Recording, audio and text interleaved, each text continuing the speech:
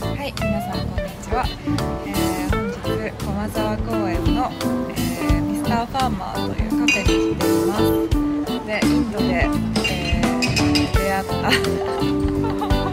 たエリナさんが今東京に来ているので 一緒に、えー、カフェしております。で、あの早速ちょっとどんなものを召し上がっているかをインタビューしたいと思います。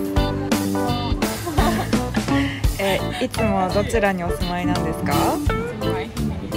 お、愛媛の出身なんですね。えー、東京はなんか今一時的にそうですね。あ一週間半ぐらい。あーそうなんですね。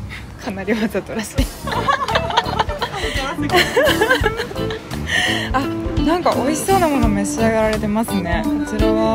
プレートで。えー、ボリュームありますね。いいですね。すごいヘルシー。